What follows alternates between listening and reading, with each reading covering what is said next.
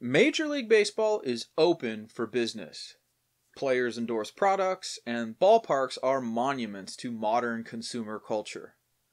100 years ago, the game already had very strong associations with certain consumer goods, from beer and hot dogs to gum and cigarettes. But what does any of this history reveal about the United States? Let's talk about baseball's relationship to advertising and commerce.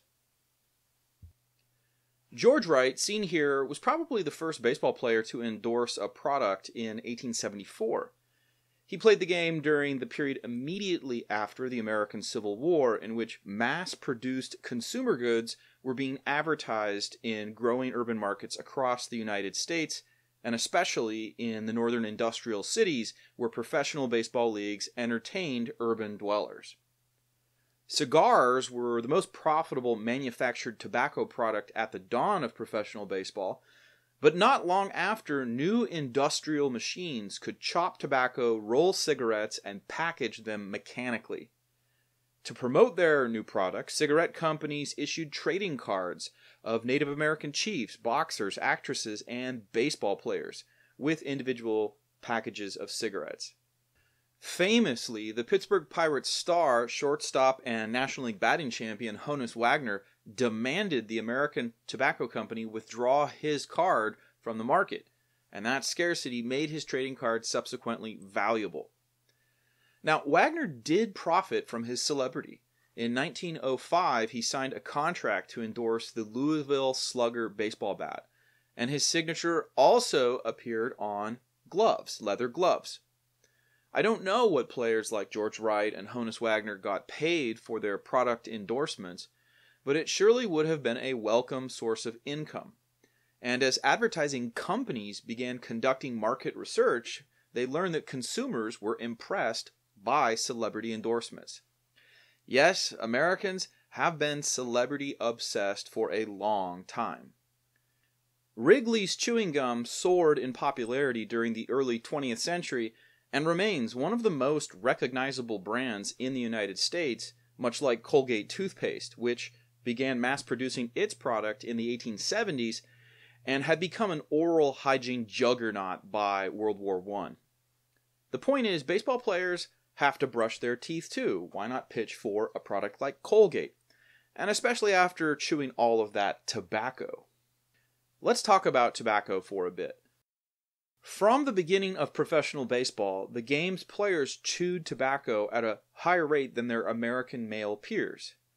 In fact, a 1999 study showed that 31% of Major League Baseball rookies use smokeless tobacco. Chewing tobacco, unapologetically marketed using Native Americans, was a widespread habit among ball players until very recently. Mid century ballpark vendors sold cigarettes to spectators as they would peanuts or cracker jacks, and fans could light up just about anywhere they wanted. Stars such as Joe DiMaggio and Ted Williams pitched for Chesterfields. Willie Mays and Jackie Robinson did it too.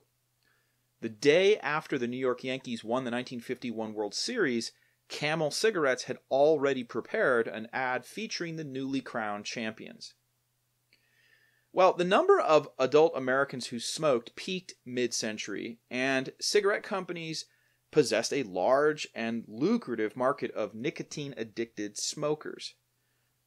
By the late 1960s, however, scientific data had demonstrated the health risks associated with smoking, and President Richard Nixon signed legislation banning cigarette ads on TV, a law that went into effect in 1971. 15 years later, federal law would ban television advertising of smokeless tobacco products. And by the time Barack Obama became president, Congress banned tobacco companies from sponsoring sporting events, among other new restrictions. Beer is the most popular alcoholic drink in the United States, with a long history and one intertwined with baseball. At the time of the game's professionalization, German immigrants were pouring into Midwestern cities such as St. Louis and Milwaukee, and a good number of these immigrants established factories for the mass production of beer. Breweries across the land signed stars to endorse their products, and here we see two legends, Cap Anson and Buck Ewing, enjoying E&J Burke Pale Ale and Stout. In St. Louis, a German immigrant from Prussia named Christian von der Ahe purchased the Browns because he understood the economic potential of the ballpark as a place to sell beer and sausages and create a whole entertainment district next to Sportsman's Park with water slides and horse racing. The price of admission to see the game, therefore, was just one source of income. Not everyone in St. Louis liked the booze flowing through Sportsman's Park, and the temperance movement, much older than baseball itself, gathered sufficient momentum to fully ban the sale of alcoholic beverages in 1919. The failed social experiment called Prohibition wiped out the lawful production of beer for more than a decade, and after the repeal of Prohibition in 1933, the brewing industry faced a host of new regulations that favored the biggest producers. By 1980, just a handful of large brewing companies, Anheuser-Busch, Miller, Pabst, Schlitz, dominated the national beer market, and they produced pale lagers not so much noted for their good taste. The quality of beer may have declined, but not its association with the ballpark. Just about every beer company had baseball pitchmen, and because so little distinguished beers at this time, they had roughly the same taste, beer companies competed for customers with clever advertising and the price of the product. Let's talk breakfast cereal. Companies manufacturing the sugared up processed wheat, corn, and rice competed for the affection of children with cartoon characters. And who else? Baseball players. Here you see Mickey Mantle and Roger Maris advertising Bugs Bunny Post cereal to kids during the early 1960s. Unsurprisingly, athletes have long pitched for Kellogg's, General Mills, and Quaker Oats. What goes on top of breakfast cereal? Milk does. And the dairy industry is one of the largest in North America. Later in the 20th century, baseball players such as Darryl Strawberry and Mark McGwire would sign contracts to advertise milk, while manager Tommy Lasorda pitched for yogurt. Here is a commercial for ice cream starring Gaylord Perry. Certain snacks, peanuts, cracker jacks, candy bars, and soda, have been ballpark staples for over 100 years, as well as the massive market for chewing gum. And like chewing tobacco or sunflower seeds, it remains associated with baseball. Beechnut and Bazooka gained market share during the 1950s and challenged the behemoth Wrigley. Topps, the same company that owned Bazooka, began issuing packs of baseball trading cards with one stick of gum, a pattern that persisted from the 50s until 1991. Up to this point, I haven't mentioned Babe Ruth, in part because he endorsed everything I've been talking about from tobacco products to breakfast cereal to candy bars, bats, balls, even underwear. He was a modern superstar in every sense of the word, larger than life, and a recognizable face that could be used to sell anything. By the 1970s, advertising was evolving away from the straightforward approaches of the early 20th century. Print and television commercials made use of irony, humor, and understatement in ads and recruited athletes to endorse a wider array of products from hair tonic and antiperspirant to aftershaves and pain relievers. Reggie Jackson lent his celebrity to Panasonic camcorders, while Coke and Pepsi, the two bottling giants, embraced a new kind of ad influenced by MTV with its fast paced editing. And just generally, commercials got slicker and funnier by the end of the century. Another major story is the sheer variety of goods and services advertised in modern sport, from insurance and antacids to Flomax and Viagra.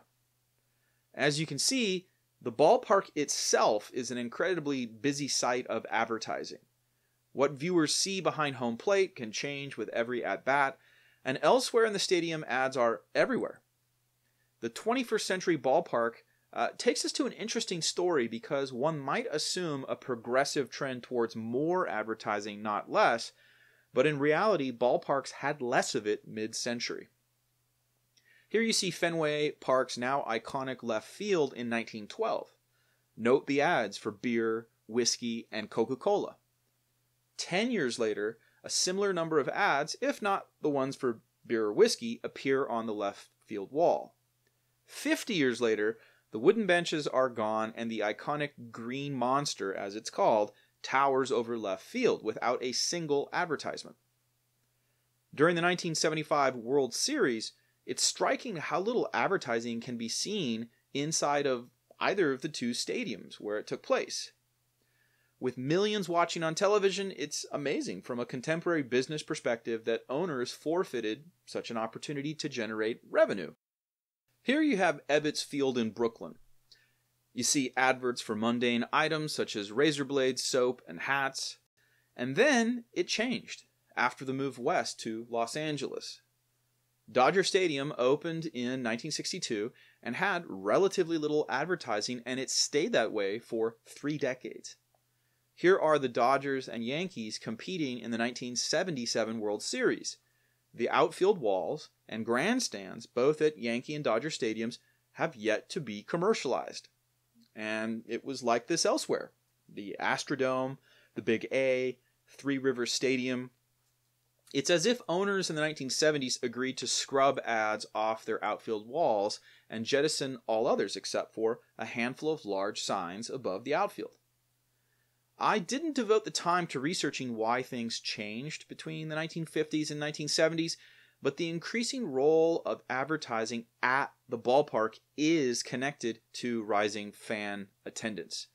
During the 1980s, more people came to the ballpark, and it became more profitable to advertise at this entertainment venue. Furthermore, more people than ever could watch the game on television and see inside of the ballpark.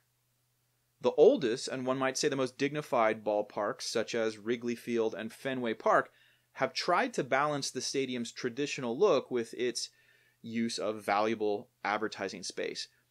But the difference between then and now is plain. I will conclude this video on baseball's relationship to advertising in the United States with a few remarks. First, the establishment of professional baseball leagues coincided with the advent of commercial capitalism a new kind of consumer culture defined by mass marketing to urban industrial populations. Second, advertisers aim to influence public behavior, but they are also subject to national politics. Producers of tobacco products and alcoholic drinks faced widely varying regulatory environments in the 20th century. Third, baseball became much more profitable for teams and players during the 1980s. Its popularity and ubiquity on television created increased opportunities for everyone involved.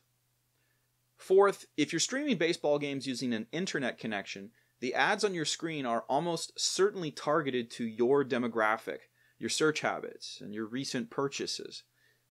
And then there is even virtual advertising, in which advertising panels at live sporting events change depending on the city and local market. Mexicans, Americans, and Japanese see different ads while watching the same contest. In this video, I'm sure I left out quite a few memorable player endorsements or ad campaigns. Let me know what I missed in the comments or anything else about the history of advertising. And thanks for watching.